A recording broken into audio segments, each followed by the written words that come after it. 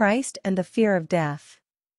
And deliver them who through fear of death were all their lifetime subject to bondage. Hebrews 2 verse 15. We face death with curiosity. There are two feelings which the thought of death has always kindled in the human breast, and the first of them is curiosity. Always in the presence of that veil through which sooner or later we all pass, men have been moved to ask with bated breath, What is it which that veil conceals? It is as if the most diaphanous of curtains were hung between our eyes and the great secret, making men the more wistful to interpret it. It has been said by a well-known Scottish essayist that this would account for the crowd at executions. You know how the people used to flock by the thousands when a criminal was to die upon the gallows. And Alexander Smith throws out this thought that it was not just savagery which brought them there. It was the unappeasable curiosity which death forever stirs in human hearts. We face death with fear. But if the thought of death moves our curiosity, there is another feeling which is always linked with it. Death is not alone the source of wonder. Death has ever been the source of fear. How universal that feeling is we see from this, that we share it with all animate creation, Wherever there is life in any form, there is an instinct which recoils from death.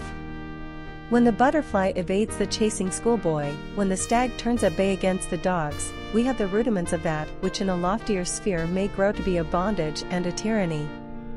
The fear of death is not a religious thing, although religion has infinitely deepened it. It is old as existence, wide as the whole world, lofty and deep as the whole social fabric. It touches the savage in the heart of Africa as every reader of Dr. Livingstone knows, and it hides under the mantle of the prince as well as under the jacket of the prodigal. How keenly it was felt in the old world every reader of pagan literature has seen.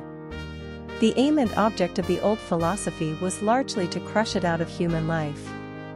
In the great and gloomy poem of Lucretius, in many a page of Cicero, above all in the treatises of Plutarch and of Seneca, we learn what a mighty thing the fear of death was with the men and women of the Roman Empire.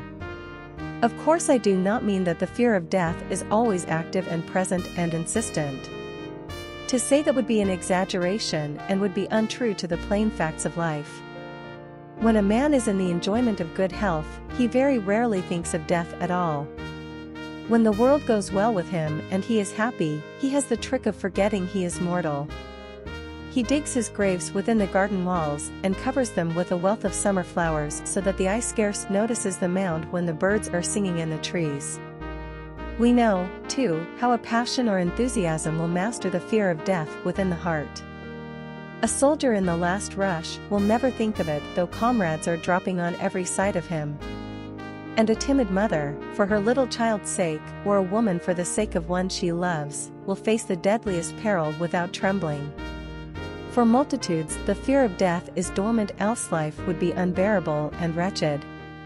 But though it is dormant, it is always there ready to be revived in the last day. In times of shipwreck, in hours of sudden panic, when we are ill and told we may not live, then shudderingly as from uncharted deeps, there steals on men this universal terror, Remember there is nothing cowardly in that. A man may be afraid and be a hero. There are times when to feel no terror is not courage. It is but the hallmark of insensibility. It is not what a man feels that makes the difference. It is how he handles and controls what he feels. It is the spirit in which he holds himself in the hour when the heart is overwhelmed. The guard around the grave. Nor can we be altogether blind to the purposes which God meant this fear to serve. Like everything universal in the heart, it has its duty in the plans of heaven. You remember the cry wrung from the heart of Keats in his exquisite music, to the nightingale. Full many a time, he sings, I have been half in love with easeful death. And it may be that some who read these pages have been at times so weary of it all that they too have been in love with easy death. It may have been utter tiredness that caused it. It may have been something deeper than all weariness. Who knows, but that some may even have dreamt of suicide. Brethren, it is from all such thoughts and from all the passion to be done with life that we are rescued and redeemed and guarded by the terror which God has hung around the grave. Work may be hard, but death is harder still. Duty may be stem, but death is sterner. Dark and gloomy may be the unknown morrow, but it is not so dark and gloomy as the grave. Who might not break through the hedge and make for liberty were the hedge easy to be pushed aside. But God has hedged us about with many a thorn, and we turn to our little pasturage again. When Adam and Eve had been expelled from Eden, they must have longed intensely to return. It was so beautiful and the world so desolate, it was so fertile and the world so hard. But always when they clasped repentant hands and stole in the twilight to the gate of paradise, there rose the awful form with flaming sword. Sleepless and vigilant, he stood at watch. His was a dreadful and terrible presence. No human heart could face that living fire which stood in guardianship of what was lost. And that was why God had placed his angel there, that they might be driven back to the harsh furrow and till the soil and rise into nobility while the sweat was dropping from the brow.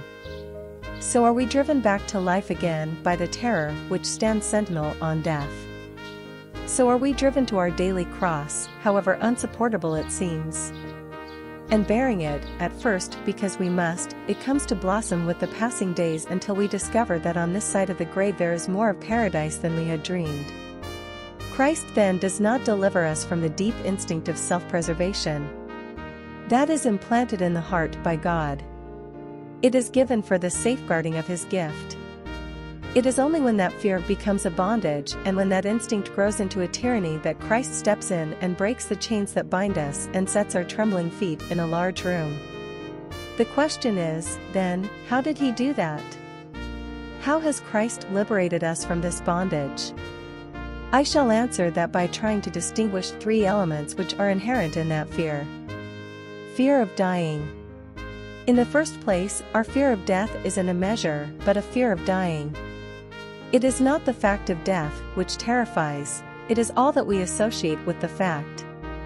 We may have seen a deathbed scene of agony, it is a memory which we shall never lose. We may have read a story of torment in the closing hours.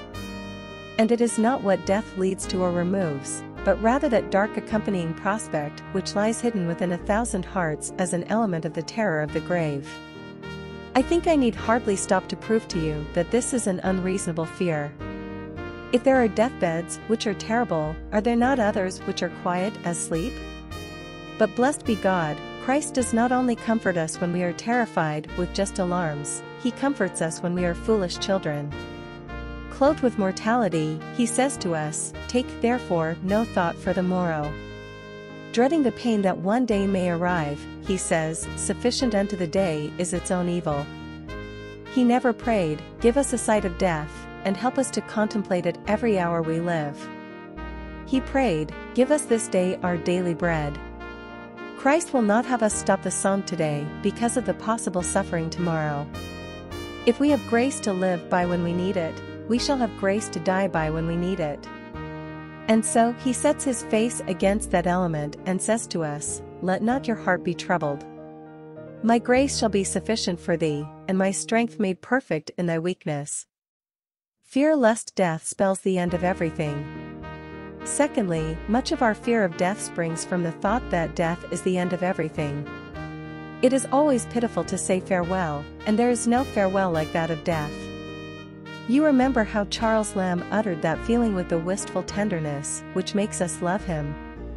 He did not want to leave this kindly world nor his dear haunts nor the familiar faces. And deep within us, though we may not acknowledge it, there is that factor in the fear of death, the passionate clinging of the human heart to the only life which it has known. We have grown familiar with it over the years. It has been a glad thing to have our work to do, and human love and friendship have been sweet. And then comes death and takes all that away from us and says it never shall be ours again, and we brood on it and are lonely and afraid. Thanks be to God, that factor in the fear has been destroyed by Jesus Christ. For he has died, and he is risen again, and he is the first fruits of them that sleep. And if the grave for him was not an end, but only an incident in life eternal, then we may rest assured that in his love there is no such sadness as the broken melody. All we have striven to be we shall attain. All we have striven to do we shall achieve. All we have loved shall meet us once again with eyes that are transfigured in the dawn. Every purpose that was baffled here and every love that never was fulfilled, all that, and all our labor glorified, shall still be ours when shadows flee away. This life is but the prelude to the peace. This life is the introduction to the book. It is not finis, we should write at death. It is not finis, it is initium. And that is how Jesus Christ has met this element and mastered it in his victorious way and made it possible for breaking hearts to bear the voiceless sorrow of farewell. Fear of coming judgment. Thirdly, much of the fear of death springs from the certainty of coming judgment. Say what you will, you know as well as I do that there is a day of judgment still to come. Conscience tells it, if conscience is not dead. The very thought of a just God demands it. Unless there be a judgment still to come, life is the most tragic of mockeries. And every voice of antiquity proclaims it, and every savage tribe within the forest, and with a certainty that never wavered it was proclaimed by the Lord Jesus Christ. Well may you and I fear death, if after death, the judgment. Seen to our depths with every secret known, we are all to stand before Almighty God. Kings will be there, and peasants will be there, and you and I who are not kings nor peasants. And the rich and the poor will meet together there, for the Lord is the maker of them all. It is that thought which makes death so terrible. It is that which deepens the horror of the tomb. Dwell on that coming day beyond the grave, and what a prospect of terror it is.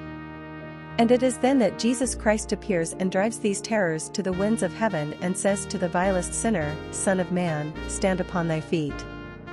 He that believeth hath everlasting life. He gives us our acquittal here and now. He tells us that for every man who trusts him there is now therefore no condemnation. And he tells us that because he died for us, and because he bore our sins upon the tree, and because he loves us with a love so mighty, neither life nor death can tear us from it. That is the faith to live by and to die by, I will both lay me down in peace and sleep. That is the faith which makes us more than conquerors over the ugliest record of our past. O death, where is thy sting? O grave, where is thy victory? Thanks be to God, who gives us the victory through our Lord Jesus Christ.